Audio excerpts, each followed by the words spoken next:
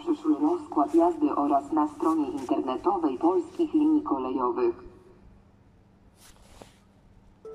Pociąg TLK Inka ze stacji Warszawa Wschodnia do stacji Lublin Główny przez stację Parczew Lubartów wjedzie na tor pierwszy przy peronie drugim.